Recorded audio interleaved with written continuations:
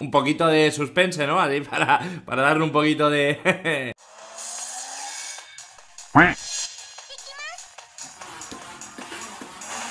Oh my gosh, there he is.